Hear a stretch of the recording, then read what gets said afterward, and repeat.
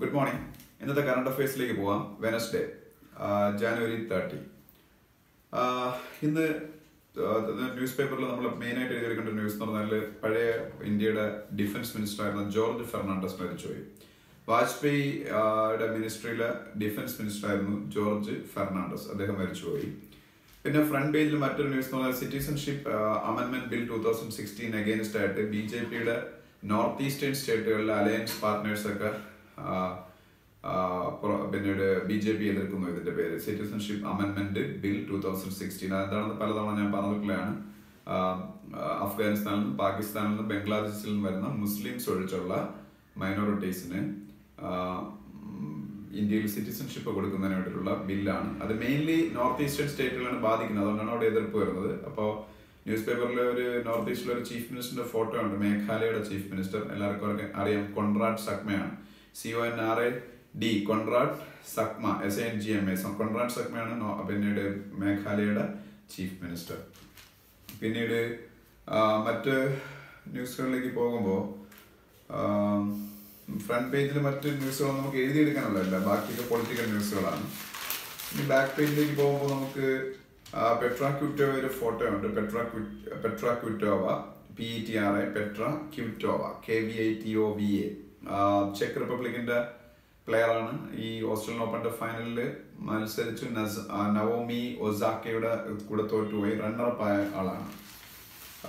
പിന്നീട് national games മുപ്പത്തി ആറാമത് നാഷണൽ ഗെയിംസ് ആണ് ഇനി നടക്കേണ്ടത്. നാഷണൽ ഗെയിംസ് ഇപ്പൊ ഗോവയിൽ വെച്ച് മാർച്ച് ഏപ്രിലായിരുന്നു നടക്കേണ്ടത്. പോസ്റ്റ്പോൺ ചെയ്തൊരു ന്യൂസ് ഉണ്ട്. എന്തായാലും അറിഞ്ഞിരിക്കുക തേർട്ടി സിക്സ് നാഷണൽ ഗെയിംസിന്റെ വെന്യൂ ആകാൻ പോകുന്നത് ഗോവയാണ്. മുപ്പത്തി ആറാമത് നാഷണൽ ഗെയിംസ് അതിന് തൊട്ടുമുമ്പുള്ള നാഷണൽ ഗെയിംസ് ആണ് ഇവിടെ തിരുവനന്തപുരത്ത് വെച്ച് നടന്നത്. പിന്നീട് ഡേവിസ് കപ്പ് പുരുഷന്മാരുടെ ടീം ടെന്നീസ് ചാമ്പ്യൻഷിപ്പ് ആണെന്ന് ഞാൻ പറഞ്ഞിട്ടുണ്ട് ഡേവിസ് കപ്പിൽ ഇന്ത്യയുടെ മാച്ച് ഇറ്റലിക്കെതിരെ തുടങ്ങാൻ പോകുന്നു. ഇന്ത്യയുടെ ഡേവിസ് കപ്പ് ടീമിലെ ഒരു ടെന്നീസ് പ്ലെയർ ആണ് Prajnesh Gunneswaran. P R A J N E S H P R A J N E S H Prajnesh Gunneswaran. G U N N E S W A R N G U N N E S W A R N Prajnesh Gunneswaran. പിന്നീട് അതിനടുത്ത പേജിലേക്ക് പോകുമ്പോൾ M S K Prasad അദ്ദേഹത്തിന്റെ ഒരു photo ഉണ്ട് M S K Prasad ആരാണെന്ന് ഞാൻ മുമ്പ് പറഞ്ഞിട്ടുള്ളതാണ് ഇന്ത്യയുടെ ക്രിക്കറ്റ് ടീമിന്റെ ചീഫ് സെലക്ഷൻ സെലക്ഷൻ കമ്മിറ്റിയുടെ ചീഫാണ് ഇന്ത്യയുടെ ക്രിക്കറ്റ് ടീമിനെ സെലക്ട് ചെയ്യുന്ന സെലക്ഷൻ കമ്മിറ്റിയുടെ ചീഫാണ് M S K Prasad. Vladimir Kramnik ചെസ്സിൽ നിന്ന് ക്വിറ്റ് ചെയ്തു എന്നൊരു ന്യൂസ് ഉണ്ട്. വ്ളാഡിമിർ ക്രാംനിക്ക് ഒരു സമയത്ത് വേൾഡിലെ ബെസ്റ്റ് ചെസ് പ്ലേയേഴ്സ് ഒരാളായിരുന്നു. അദ്ദേഹത്തിന് ഇപ്പോൾ നാൽപ്പത്തിരണ്ട് നാൽപ്പത്തി മൂന്ന് വയസ്സായി. വിശ്വനാഥൻ ആനന്ദിന്റെ ഒക്കെ വലിയൊരു അദ്ദേഹം. അദ്ദേഹം ഇന്റർനാഷണൽ ചെസ്സിൽ നിന്ന് ക്വിറ്റ് ചെയ്യാൻ തീരുമാനിച്ചു. Vladimir V L A D I M I R Vladimir Kramnik K R I M N I K അതുപോലെ T twenty world cup men T twenty world cup അടുത്ത് നടക്കാൻ പോണത് രണ്ടായിരത്തി ഇരുപത് നെക്സ്റ്റ് ഇയറിൽ ഓസ്ട്രേലിയയിൽ വെച്ചാണ്. ഓസ്ട്രേലിയയിൽ വെച്ചാണ് അടുത്ത വർഷം two thousand ട്വന്റിയിലാണ് men's T twenty world cup നടക്കാൻ പോകുന്നത് അതുപോലെ men world cup one day world cup നടക്കാൻ പോണത് ഈ വർഷം ഇംഗ്ലണ്ടിൽ വെച്ചാണ് ഈ വർഷം ഇംഗ്ലണ്ടിൽ വെച്ചാണ് men one day world cup നടക്കാൻ പോണത്. P T I press trust of India. ഇന്ത്യയുടെ ഒഫീഷ്യൽ ന്യൂസ് ഏജൻസിയാണ് P T I press trust of India. Government of ഇന്ത്യയുടെ ന്യൂസ് ഏജൻസിയാണ്. പിന്നെ ബിസിനസ് പേജിലേക്ക് പോകുമ്പോൾ എഫ് എം സി ജി സെക്ടറിനെ കുറിച്ചൊരു ന്യൂസ് ഉണ്ട് എഫ് എം സി ജി എന്ന് പറഞ്ഞാൽ ഫാസ്റ്റ് മൂവിംഗ് കൺസ്യൂമർ ഗുഡ്സ് ആണ്. F M C G fast moving consumer goods അതിലെ പ്രധാനപ്പെട്ട ഒരു മൂന്ന് പ്ലേയേഴ്സിന്റെ പേര് പറയാൻ പറഞ്ഞാൽ ഒന്നാം സ്ഥാനത്ത് ഹിന്ദുസ്ഥാൻ യൂണിലിവർ മിക്കവാറും നമ്മൾ വീടുകളിൽ ഉപയോഗിക്കുന്ന F M C G products ഒക്കെ ഉണ്ടാക്കുന്നത് ഹിന്ദുസ്ഥാൻ യൂണിലിവർ ആണ്. അത് കഴിഞ്ഞാൽ ഐ ടി സി പതഞ്ജലി ഇവരെല്ലാം എഫ് എം സി ജി കമ്പനികളുടെ മുൻനിരയിൽ നിൽക്കുന്ന കമ്പനീസ് ആണ്. F M C G fast moving consumer goods ഇന്ത്യയിലെ പ്രധാനപ്പെട്ട ഐ ടി ഇൻഫർമേഷൻ ടെക്നോളജി കമ്പനികളിൽ ഒരെണ്ണമാണ് H C L technologies H C L ടെക്നോളജീസിന്റെ chairman Shiv ആണ് എച്ച് സി എൽ ടെക്നോളജീസിന്റെ ചെയർമാൻ ശിവ നാടാർ. അതിന്റെ സിഇഒ സി വിജയകുമാറാണ്. അതിന്റെ സിഇഒ സി വിജയകുമാർ. ഇന്ത്യയിലെ പ്രൈവറ്റ് സെക്ടർ ബാങ്കുകളിൽ മൂന്നാം സ്ഥാനത്ത് നിൽക്കുന്ന ബാങ്കാണ് ആക്സിസ് ബാങ്ക്. ഒന്നാം സ്ഥാനത്ത് I C I C bank. രണ്ടാം സ്ഥാനത്ത് H D F C bank. മൂന്നാം സ്ഥാനത്ത് ആക്സിസ് ബാങ്ക്. ഇന്ത്യയിലെ പ്രൈവറ്റ് സെക്ടർ ബാങ്കുകളുടെ പിന്നീട് റാങ്കിങ് അങ്ങനെയാണ്.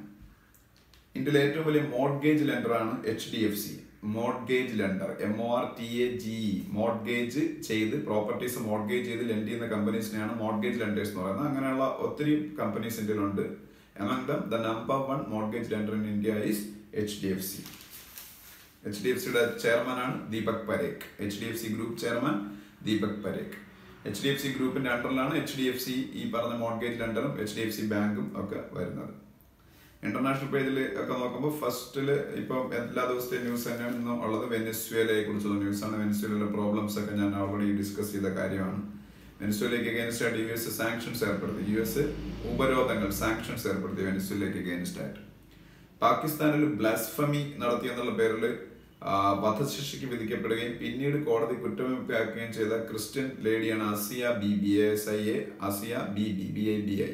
Blasphemy എന്ന് പറഞ്ഞാൽ മതനിന്ദയാണ്. മതനിന്ദ ആരോപിക്കപ്പെട്ട് കോടതിയിൽ വധശിക്ഷയ്ക്ക് ആദ്യം വിധിക്കപ്പെടുകയും പിന്നീട് മോചിതയാവുകയും ചെയ്ത ക്രിസ്ത്യാനിയാണ് ക്രിസ്ത്യനാണ് അസിയ ബി ബി പുള്ളിക്കാരിക്ക് പാകിസ്ഥാനിനകത്ത് വലിയ പ്രോബ്ലംസ് ഇപ്പോഴും ഫേസ് ചെയ്യുന്നുണ്ട്. വൺസ് അവർ പിന്നെ ഇപ്പൊ അക്യൂട്ടിലായെങ്കിലും അവർ അവിടുത്തെ റിലീജിയസ് എക്സ്ട്രീമിസ്റ്റുകളുടെ നിന്നും വധശിക്ഷ വധഭീഷണി നേരിടുകയാണ്. So she's seeking asylum in some foreign countries and Canada recent offered her asylum അങ്ങനെയാണെന്നുണ്ടെങ്കിൽ അവർ കാനഡയിൽ സിറ്റിസൺഷിപ്പ് കിട്ടാൻ സാധ്യതയുണ്ട്. ഓൾറെഡി ഞാനത് കാനഡയുടെ പ്രൈം മിനിസ്റ്റർ എന്ന് ഞാൻ പറഞ്ഞാണ് ജസ്റ്റിൻ ട്രൂഡോ ആണ്. Justin Trudeau T R E T R U D A U കാനഡയുടെ പിന്നീട് പ്രൈം മിനിസ്റ്റർ കാനഡയുടെ capital ഒട്ടാവയാണ്. O T T A W A Ottawa. Suman Kumari പാകിസ്ഥാന്റെ ഫസ്റ്റ് ഹിന്ദു വുമൻ ജഡ്ജ് പാകിസ്ഥാനിലെ ഫസ്റ്റ് ഹിന്ദു വുമൻ ജഡ്ജാണ് സുമൻ കുമാരി സുമൻ കുമാരി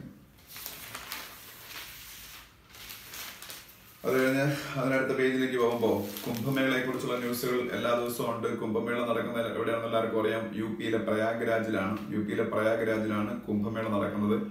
അവിടുത്തെ ഹിസ്റ്ററിൽ ആദ്യമായിട്ട് ഉത്തർപ്രദേശിന്റെ ക്യാബിനറ്റ് മീറ്റിംഗ് ഈ കുംഭമേള നടക്കുന്ന പ്രയാഗ്രാജിൽ വെച്ച് നടത്തിയ ഒരു ന്യൂസ് ഉണ്ട് അപ്പം കുംഭമേള നടക്കുന്ന പ്രയാഗ്രാജിൽ വെച്ച് ക്യാബിനറ്റ് മീറ്റിംഗ് നടത്തിയത് ഏത് സ്റ്റേറ്റ് ആണെന്ന് വെച്ചാൽ ആ അതേ ആ കുംഭമേള നടക്കുന്ന സ്റ്റേറ്റായ ഉത്തർപ്രദേശ് തന്നെയാണ്. അതുപോലെ വേൾഡിലെ ഏറ്റവും വലിയ എക്സ്പ്രസ് ഹൈവേ ഉത്തർപ്രദേശിൽ ഇപ്പൊ അനൗൺസ് ചെയ്തു. വേൾഡിലെ ഏറ്റവും വലിയ express highway. Ganga express way എന്നാണ് എന്റെ പേര്. To connect Allahabad. അതായത് അലഹബാദിന്റെ പുതിയ പേര് പ്രയാഗ്രാജ് എന്നാണ്. അലഹബാദ് അല്ലെങ്കിൽ Prayagraj to western U P Prayagraj അല്ലെങ്കിൽ അലഹബാദിനെ വെസ്റ്റേൺ യു പിയിലേക്ക് കണക്ട് ചെയ്യുന്ന അറുന്നൂറ് കിലോമീറ്റർ ലെങ്ത് ഉള്ള ഗംഗ എക്സ്പ്രസ് വേ അത് ഇപ്പൊ അനൗൺസ് ചെയ്യപ്പെട്ടിട്ടുണ്ട്. ഇതൊരിക്കും പണികൾ സ്റ്റാർട്ട് ചെയ്തിട്ടില്ല. Just just an announcement announcement by U P government once it is complete it will be the longest express highway in the world എന്നാണ് പറയപ്പെടുന്നത്. ഗംഗ എക്സ്പ്രസ് ഹൈവേ അത് കണക്ട് ചെയ്യുന്ന പ്രയാഗ്രാജിനെയും western ഉത്തർപ്രദേശിനെയാണ്.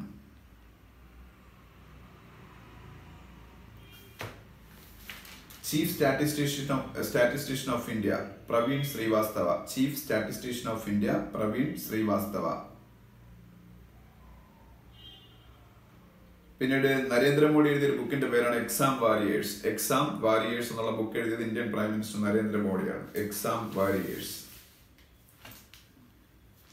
U A E ambassador to India U A എന്ന് പറഞ്ഞ കൺട്രിയുടെ ambassador to ഇന്ത്യയാണ് Ahmed Al Banna Ahmed Al Banna U A ambassador to India Ahmed Al Banna.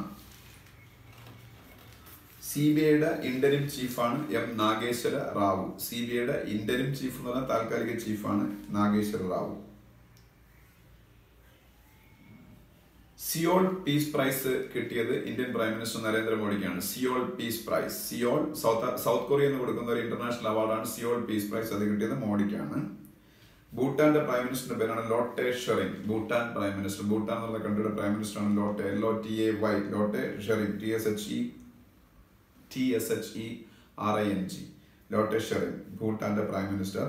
South കൊറിയയുടെ പ്രസിഡന്റ് ആണ് മൂൺ ജെ ഇൻ. സൗത്ത് കൊറിയയുടെ president Moon Jae In.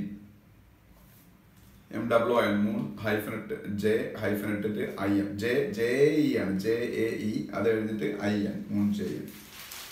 ഹിന്ദുവിലെ എഡിറ്റോറിയൽസിന്റെ first editorial stress and strain എന്ന് പറഞ്ഞ എഡിറ്റോറിയലാണ് അത് purely a political എഡിറ്റോറിയലാണ് it is about the recent developments in Karnataka politics actually Karnataka is governed by a coalition of Congress and Janata Dal secular ആ ജനതാദൾ സെക്യുലറിന്റെ H D കുമാരസ്വാമിയാണ് Karnataka chief minister but there is but there is strain in the relationship between these two ruling parties അപ്പോൾ അതിനെക്കുറിച്ച് അത് മുതലെടുക്കാൻ അവിടുത്തെ main ഒപ്പോസിഷനായ B J P നടത്തുന്ന ശ്രമങ്ങളെ കുറിച്ച് അവിടുത്തെ ഗവൺമെന്റിനെ ടോപ്പ് ചെയ്യാൻ വേണ്ടിയിട്ട് നടത്തുന്ന ശ്രമങ്ങളെ കുറിച്ച് അതിനെക്കുറിച്ചുള്ള പ്യുവർ ആയിട്ടുള്ള ഒരു പൊളിറ്റിക്കൽ അനാലിസിസ് ആണ് സ്ട്രെസ് ആൻഡ് സ്ട്രെയിൻ എന്ന് പറയുന്ന എഡിറ്റോറിയൽ അതുകൊണ്ട് തന്നെ അത് അത്രത്തോളം ഇമ്പോർട്ടന്റ് ഒന്നും അല്ല. പക്ഷേ വേണമെന്നുള്ളവർ വായിക്കുക. പൊളിറ്റിക്സ് അറിയാൻ ആഗ്രഹിക്കുന്നവർ വായിക്കുക. നമ്മളുടെ ഹിന്ദുവിന്റെ എഡിറ്റോറിയൽ എഴുതാൻ സമ്മറി എഴുതുന്ന ആപ്റ്റിറ്റ്യൂഡ് സ്റ്റുഡൻസ് ഫസ്റ്റ് എഡിറ്റോറിയൽ എഴുതുന്നത് വലിയ കാര്യമൊന്നുമില്ല. സെക്കൻഡ് എഡിറ്റോറിയലും അറിഞ്ഞിരിക്കുക. ക്ലിയർ ടി വി എന്ന് പറയുന്ന എഡിറ്റോറിയലാണ് ക്ലിയർ ടി വി എന്ന് പറയുന്ന എഡിറ്റോറിയൽ എന്ന് വെച്ചാൽ നമ്മളെ ബ്രോഡ്കാസ്റ്റേഴ്സിനെ റെഗുലേറ്റ് ചെയ്യുന്ന റെഗുലേറ്റർ ട്രായ് ആണ്. Telecom regulatory authority of India TRAI എന്ന് പറയുമ്പോൾ നമുക്ക് ആദ്യം ഓർമ്മ വരുന്ന telecom സെക്ടറിനാണ് of of course obviously telecom സെക്ടറിന്റെ regulator TRAI ആണ്. But at the same time TRAI is regulating broadcasters and also D T H service providers അപ്പോൾ ട്രായുടെ ലേറ്റസ്റ്റ് ഓർഡർ അനുസരിച്ച് ട്രായുടെ ഹെഡ്ക്വാർട്ടേഴ്സ് ന്യൂഡൽഹിയാണ് ട്രായുടെ ചെയർമാൻ ആർ എസ് ശർമ്മയാണ്. ട്രായുടെ headquarters is New Delhi and it's chairman is R S Sharma. അപ്പോൾ അവരുടെ latest orders അനുസരിച്ച് ബ്രോഡ്കാസ്റ്റേഴ്സും അതുപോലെ ഡി ടി എച്ച് സർവീസ് പ്രൊവൈഡേഴ്സും ഒക്കെ പിന്നീട് ആൾക്കാർ സെലക്ട് ആവശ്യപ്പെടുന്ന സെലക്ടഡ് ചാനൽസിന് മാത്രം പേയ്മെന്റ് കൊടുത്താൽ മതി എന്നൊരു സംവിധാനത്തിലേക്ക് മാറാൻ പോയത് അപ്പൊ നമ്മളിപ്പോ ഒരു അറുന്നൂറ് ചാനൽസ് നമുക്ക് അവൈലബിൾ ആണ്. പക്ഷെ നമുക്ക് നൂറ് ചാനൽസ് മതി. അപ്പൊ അതിന്റെ പേയ്മെന്റ് മാത്രം കൊടുത്താൽ മതി എന്നുള്ള രീതിയിലേക്ക് മാറുകയാണ് മറ്റന്നാൾ മുതൽ ഫെബ്രുവരി ഫസ്റ്റ് മുതൽ. അതിനെക്കുറിച്ചുള്ള ഒരു ഡീറ്റെയിൽഡ് അനാലിസിസ് ആണ് സെക്കൻഡ് എഡിറ്റോറിയൽ എന്ന് പറയുന്നത്. ഫെബ്രുവരി ഫസ്റ്റ് തൊട്ടാണ് നിയമം ഇന്ത്യയിൽ ട്രൈ നടപ്പാക്കാൻ പോകുന്നത്. Universal basic income U B I U B ഐയുടെ എക്സ്പാൻഷൻ യൂണിവേഴ്സൽ ബേസിക് ഇൻകം എന്നാണ്. ഈ യു ബി ഐ അല്ലെങ്കിൽ യൂണിവേഴ്സൽ ബേസിക് ഇൻകം എന്ന് പറയുന്ന സംഭവം ആക്ച്വലി ഗവൺമെന്റ് ഓഫ് ഇന്ത്യ കഴിഞ്ഞ കുറച്ച് കാലമായിട്ട് ഇന്ത്യയിൽ നടപ്പാക്കും എന്ന് പറഞ്ഞൊരു സംഭവമാണ്. പക്ഷെ അത് ചിലപ്പോൾ ഈ ഫെബ്രുവരി ഫസ്റ്റ് ഇന്ത്യയിൽ അവതരിപ്പിക്കാൻ പോകുന്ന ഓട്ടോൺ അക്കൗണ്ട് ചെറിയ ഒരു ബഡ്ജറ്റാണ് ഓട്ടോൺ അക്കൗണ്ട് ഇന്ത്യയിൽ അവതരിപ്പിക്കാൻ പോകുന്നത് ഫെബ്രുവരി ഫസ്റ്റിന് ഓട്ടോൺ അക്കൗണ്ട് ഓൾറെഡി ഞാൻ ഡിസ്കസ് ചെയ്ത് തന്നെയാണ് ആ ഓട്ടോൺ അക്കൗണ്ടിൽ ഒരു പക്ഷേ യൂണിവേഴ്സൽ ബേസിക് ഇൻകത്തിന്റെ അനൗൺസ്മെന്റ് കാണുമെന്നാണ് പറയപ്പെടുന്നത്. യൂണിവേഴ്സൽ ബേസിക് ഇൻകം എന്ന് പറഞ്ഞ കോൺസെപ്റ്റ് ഇതിലെ എസ്പെഷ്യലി പോർ ആയിട്ടുള്ള ആൾക്കാർക്ക് ഒരു മന്ത്ലി അല്ലെങ്കിൽ ഇയർലി ഒരു ഫിക്സ്ഡ് ആയിട്ടുള്ള ഒരു എമൗണ്ട് അവരുടെ അക്കൗണ്ടിലേക്ക് ട്രാൻസ്ഫർ ചെയ്യും. അപ്പം ആ അവരുടെ ദാരിദ്ര്യം അകറ്റുന്നതായിരിക്കും അതാണ് യൂണിവേഴ്സൽ ബേസിക് ഇൻകം ഒരു അഷുറൻസ് ആണ്. എല്ലാവർക്കും ഒരു ഇൻകം ഗവൺമെന്റ് മസ്റ്റായിട്ടും ട്രാൻസ്ഫർ ചെയ്യും. അതാണ്. അതാണ് അതിന്റെ ഒരു ബേസിക് ആയിട്ടുള്ള ഐഡിയ ഇനി ഇന്ത്യയിൽ ഇംപ്ലിമെന്റ് ചെയ്യാൻ പോണ എങ്ങനെയാണെന്ന് അറിയത്തില്ല. ഇതുവരെയ്ക്ക് അത് ബഡ്ജറ്റിൽ അത് അങ്ങനെ കണ്ടേക്ക് വന്നൊരു സ്പെക്കുലേഷൻ ഉണ്ട്. അതിനെക്കുറിച്ചൊരു ഹിന്ദുവിൽ ഒരു ആർട്ടിക്കിൾ ഉണ്ട്. ഇന്ത്യയിലെ വളരെ ഡിറ്റീരിയറേറ്റ് ചെയ്ത് ചെയ്തു പോകുന്ന ഇന്ത്യയിൽ വളരെ മോശം ക്വാളിറ്റിയിലേക്ക് പോകുന്ന ഇന്ത്യയുടെ എയർ ക്വാളിറ്റി ഇംപ്രൂവ് ചെയ്യാൻ വേണ്ടിയിട്ടുള്ള ഗവൺമെന്റ് സെൻട്രൽ ഗവൺമെന്റ് ഇനിഷ്യേറ്റീവ് ആണ് N C A P national clean air programme. N C A P national clean air programme. Air clean ചെയ്യുന്നതിനുള്ള ഗവൺമെന്റ് ഓഫ് ഇന്ത്യയുടെ ഇനിഷ്യേറ്റീവ് ആണ്. ഇത്രയാണ് ഇന്നത്തെ ഹിന്ദുവിലെ ന്യൂസ്. നമുക്ക് ഇനി ഒരു ദിവസത്തെ പെൻഡിങ് ന്യൂസ് പേപ്പർ ഉണ്ട്. സാറ്റർഡേയിലാണ്. അതും കൂടെ നമുക്ക് ഡിസ്കസ് ചെയ്യാം. സാറ്റർഡേയിലെ ഹിന്ദുവിലേക്ക് പോകുമ്പോൾ ഫ്രണ്ട് പേജ് ന്യൂസ് എന്ന് പറഞ്ഞാൽ സുപ്രീം കോർട്ട് ഓഫ് ഇന്ത്യ ഇപ്പോൾ ഒരു നിയമം സെൻട്രൽ ഗവൺമെന്റ് ഉണ്ടാക്കിയ ഒരു നിയമത്തിനെ അപ്ഹോൾഡ് ചെയ്തു. അതിനെ ക്വസ്റ്റ്യൻ ചെയ്ത് സമർപ്പിച്ച ഹർജിയിൽ സുപ്രീം കോടതി വളരെ ഹാർഷ് ആയിട്ടുള്ള ക്രിറ്റിസിസം പറഞ്ഞുകൊണ്ട് ആ നിയമത്തിന് ഞങ്ങൾ അപ്ഹോൾഡ് ചെയ്യുകയാണ്. India is no more a paradise for defaulters എന്നാണ് അവർ പറഞ്ഞത്. അപ്പം എന്താണ് ആ നിയമം എന്ന് നിങ്ങൾക്ക് ഊഹിക്കാൻ പറ്റുമായിരിക്കും. ഞാൻ ഇന്നലേക്ക് ഡിസ്കസ് ചെയ്താണ് അതിനെക്കുറിച്ച് I B C two thousand sixteen solvency and bankruptcy code two thousand sixteen insolvency and bankruptcy code two thousand sixteen പിന്നെ ഭാരതരത്ന കിട്ടിയ ആൾക്കാരുടെ പേരുകളുണ്ട്. ഭാരതരത്ന കിട്ടിയ ആരൊക്കെയാണെന്ന് ഞാൻ ഓൾറെഡി പറഞ്ഞു കഴിഞ്ഞു. പ്രണബ് മുഖർജി ഭൂപേൻ ഹസാരിക നാനാജി ദേശ്മുഖ്. നാനാജി ദേശ്മുഖ്. പിന്നീട് മലയാളത്തിൽ നിന്ന് പത്മഭൂഷൺ കിട്ടിയ രണ്ടാമത്തെ ആക്ടറാണ് മോഹൻലാൽ. ഒന്നാമത്തെ പ്രേം നസീർ ആയിരുന്നു. പ്രേം നസീറിന് ശേഷം മലയാളത്തിൽ നിന്ന് രണ്ടാമതായിട്ട് പത്മഭൂഷൺ കിട്ടുന്ന ആക്ടറാണ് മോഹൻലാൽ. പിന്നെ രഞ്ജി ട്രോഫിയുടെ ഫൈനൽ ആരൊക്കെ തങ്ങളിലാണെന്ന് ഓൾറെഡി ഞാൻ പറഞ്ഞു കഴിഞ്ഞാണ് ഡിഫൻഡിങ് ചാമ്പ്യൻസ് ആയ വിദർഭയും സൗരാഷ്ട്രയും തമ്മിലാണ് final Ranji trophy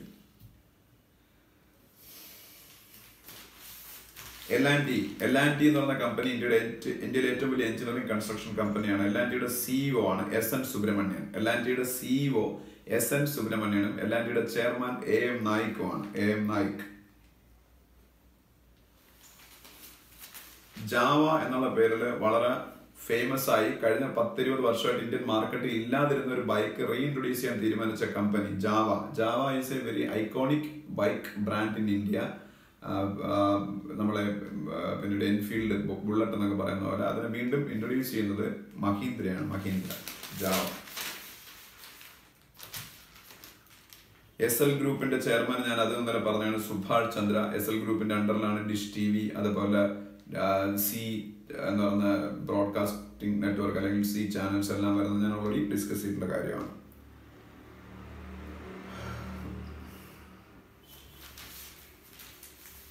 Prime minister's economic advisory council chairman Bibek Debroy ഇന്ത്യയുടെ പ്രൈം മിനിസ്റ്റേഴ്സ് എക്കണോമിക് അഡ്വൈസറി കൗൺസിലിന്റെ ചെയർമാൻ ബിബേക് ഡബ്രോയ് ആണ്. B I B K Bibek Debroy D B R O Y അതുപോലെ ഇപ്പോൾ ഒരു രാജ്യത്തിന്റെ നെയിം ചേഞ്ച് ചെയ്തു ഒരു കൺട്രിയുടെ നെയിം ചേഞ്ച് ചെയ്തു.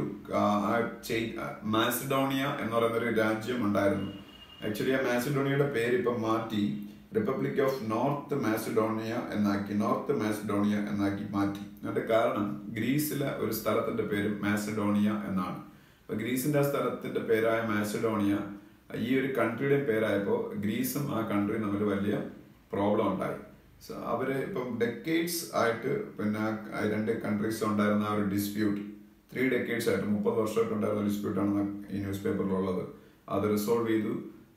മാസിഡോണിയ എന്ന് പറയുന്ന കൺട്രിയുടെ പേര് ഇനി തൊട്ട് നോർത്ത് മാസിഡോണിയ എന്നാക്കാൻ തീരുമാനിച്ചു. അത് ഗ്രീസുകാർ അംഗീകരിക്കുകയും ചെയ്തു. അപ്പോൾ അതൊരു വേൾഡിലൊരു പ്രോബ്ലം സോൾവ് ചെയ്യുന്നത് മാത്രമല്ല ഇതുവഴി നോർത്ത് മാസിഡോണിയ എന്ന് പറയുന്ന കൺട്രിക്ക് യൂറോപ്യൻ യൂണിയനിലേക്കും നാറ്റോയിലേക്കുള്ള വഴിയും കൂടെ തുറന്നിട്ടേക്കാണ്. യൂറോപ്യൻ യൂണിയനിൽ ഇനി അവർക്ക് നോർത്ത് മാസിഡോണിയക്ക് ജോയിൻ ചെയ്യാൻ പറ്റും. European Union twenty eight nations members ആയിട്ടുള്ള യൂറോപ്പിലെ സംഘടനയാണ് അല്ലെങ്കിൽ യൂറോപ്യൻ കൺട്രീസിന്റെ സംഘടനയാണ്. അതുപോലെ NATO North Atlantic Treaty Organisation ഇത് അമേരിക്കയുടെ നേതൃത്വത്തിലുള്ള ഒരു മിലിറ്ററി അലയൻസ് ആണ്. NATO North Atlantic Treaty Organisation is a military alliance of military alliance led by U S അപ്പോൾ ഇതിന്റെ രണ്ടിന്റെ ഹെഡ് ക്വാർട്ടേഴ്സ് യൂറോപ്യൻ യൂണിയന്റെയും നാറ്റോയുടെയും ഹെഡ് ക്വാർട്ടേഴ്സ് ബ്രസൽസിലെ ബെൽജിയത്തിലെ ബ്രസൽസ് ആണ്. ബെൽജിയത്തിന്റെ ക്യാപിറ്റൽസ് ക്യാപിറ്റലായ ബ്രസൽസ് ആണ് ഈ രണ്ടിന്റെയും ഹെഡ് ക്വാർട്ടേഴ്സ് ആൻഡ് ഈജിപ്തിന്റെ പ്രസിഡന്റ് ആണ് അലക്സ് അലക്സിസ് സിപ്രസ്. ഈജിപ്തിന്റെ ഈജിപ്തിന്റെ പ്രൈം മിനിസ്റ്റർ ആണ്. ഈജിപ്തിന്റെ പ്രൈം മിനിസ്റ്റർ ആണ് Alexis Tsipras L E X S Alexis Tsipras T S I P R S പിന്നീട് ഇതും ഞാൻ ഡിസ്കസ് ചെയ്തിട്ടുള്ളതാണ്. കാശ്മീരിൽ നിന്ന് ആദ്യമായിട്ട് അശോക ചക്ര കിട്ടിയ ആൾ lance Naik Nazir Ahmad Wani. Nazir Ahmad Wani is the first Kashmiri to win Ashok Chakra. Ashok Chakra is the highest peace time gallantry award of India and highest war time gallantry of award of gallantry award of India is Paramvir ചക്ര ചക്ര ആണ് highest war time gallantry award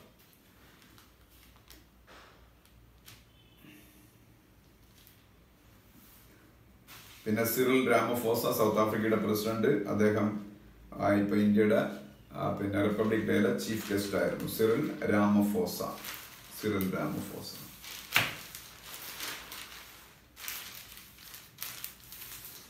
E S I employees E S I C employee state insurance corporation അതൊരു health insurance സ്കീമാണ് organised സെക്ടറിലെ ജോലിക്കാർക്ക് വേണ്ടി organised സെക്ടറിലെ എംപ്ലോയീസിന് വേണ്ടിയിട്ടുള്ള ഒരു ഹെൽത്ത് ഇൻഷുറൻസ് സ്കീമാണ് E S I C employee state insurance corporation if a company is having or if a firm is having more than 10 employees, they have to provide employees the employees the ESI benefits. പത്ത് എംപ്ലോയീസിൽ കൂടുതലുള്ള എല്ലാ സ്ഥാപനങ്ങളും E S I benefits അവരുടെ എംപ്ലോയീസിന് കൊടുക്കണം അതുപോലെ E P F O അതൊരു retirement ഫണ്ടാണ് employee provident fund organisation and that is also for organised employees in the organised sector and if a firm is having more than twenty employees twenty and above employees the have to provide EPFO, EPF benefits to those employees, EPFO, Employee Provident Fund Organization. അതുപോലെ Jayant Kaikini J Y A N D Jayant Kaikini K A I K I N I K A I K I N I. Jayant കൈകിനിക്ക് D S C prize for South Asian literature കിട്ടി. അദ്ദേഹത്തിന്റെ ഒരു no presence please എന്ന് പറയുന്ന ബുക്കിനാണ് അത് കിട്ടിയത്. No presents P R S C N T S no presents please എന്ന് പറയുന്ന ബുക്കിനാണ് Jayant കൈഗിനിക്ക് D S C prize for South Asian literature D S C prize for South Asian literature കിട്ടിയത്. ആ ബുക്ക് ട്രാൻസ്ലേറ്റ് ചെയ്തതിന് തേജസ്വിനി നിരഞ്ജനയ്ക്കും കിട്ടി. തേജസ്വിനി നിരഞ്ജന ആണ് ഇത് ഇംഗ്ലീഷിലേക്ക് ട്രാൻസ്ലേറ്റ് ചെയ്തത്. നോ പ്രസൻസ് പ്ലീസ് എന്ന് പറഞ്ഞ ഈ ബുക്ക് കന്നഡ ഭാഷയിലാണ് എഴുതപ്പെട്ടത്. അത് പിന്നീട് ഇംഗ്ലീഷിലേക്ക് തർജമ ചെയ്തത് തേജസ്വിനി നിരഞ്ജനയാണ്. അപ്പൊ അവർക്കും ഈ കൂടെ ചേർന്നാണ് D S C prize for South Asian literature കിട്ടിയത്. Jayant കായ്ക്കിനിക്ക്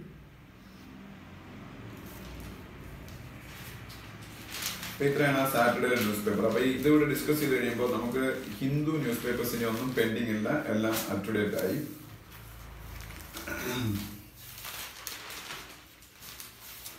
Soumya Kanti Ghosh. Soumya Kanti Ghosh. Chief economist State Bank of India State Bank of ഇന്ത്യയുടെ ചീഫ് എക്കണോമിസ്റ്റ് ആണ് സൗമ്യ കാന്തി ഘോഷ്. സൗമ്യ കാന്തി ഘോഷ്.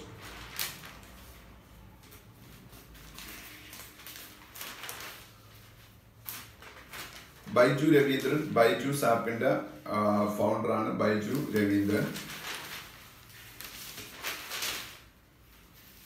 സൻസദ് ആദർശ് ഗ്രാം യോജന അത് ഓൾറെഡി ഞാൻ ഡിസ്കസ് ചെയ്തിട്ടുള്ളതാണ്. എസ് എ ജി വൈ എന്ന short ഫോമിൽ പറയാം. S A G Y Sansad Adarsh Gram Yojana.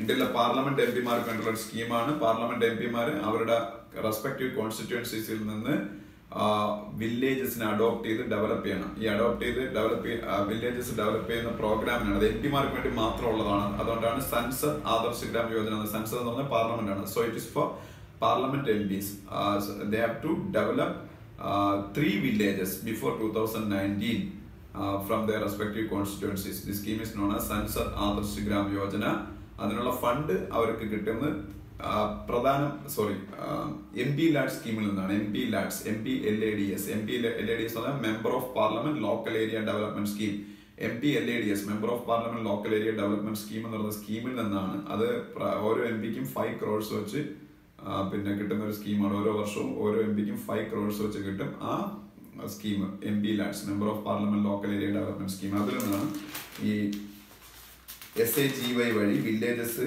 Develop ചെയ്യാനുള്ള money M പിമാർക്ക് കിട്ടുന്നത്. സൻസദ് ആദർശ ഗ്രാം യോജന വഴി. ഗീത ഗോപിനാഥ് ഐ എം എഫിന്റെ ചീഫ് എക്കണോമിസ്റ്റ് ഇന്ത്യക്കാരിയാണ് ഐ എം എഫിന്റെ ചീഫ് എക്കണോമിസ്റ്റ് ആയ ഗീത ഗോപിനാഥ്.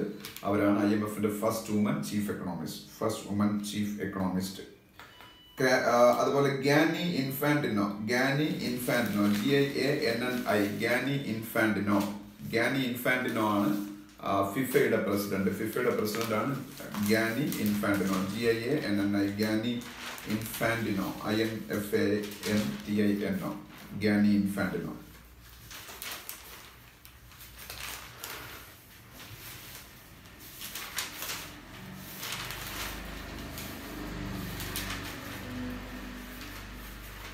അപ്പൊ ഇത്രയും ആയപ്പോ നമ്മളുടെ ഇതുവരെയുള്ള ഹിന്ദു എക്കണോമിക് ടൈംസ് ന്യൂസ് പേപ്പേഴ്സിന്റെ റിവ്യൂ തീരെയാണ് ഓൺലൈൻ ആയിട്ട് ഡിസ്കസ് ചെയ്യാനുള്ള കാര്യങ്ങളെല്ലാം ട്വന്റി ഫിഫ്ത്ത് ജാനുവരി വരെ നമ്മൾ ഡിസ്കസ് ചെയ്തു ബാക്കി ഉടനെ തന്നെ ഡിസ്കസ് ചെയ്ത് തീർക്കുന്നതായിരിക്കും ജാനുവരിയിലെല്ലാം അപ്പോൾ കറണ്ട് അഫയേഴ്സ് ഏകദേശം അപ്ഡേറ്റ് ആയിട്ടാണ് നമ്മൾ പോകുന്നത്. ഇനി എല്ലാവരും നന്നായിട്ട് പഠിക്കുക. താങ്ക്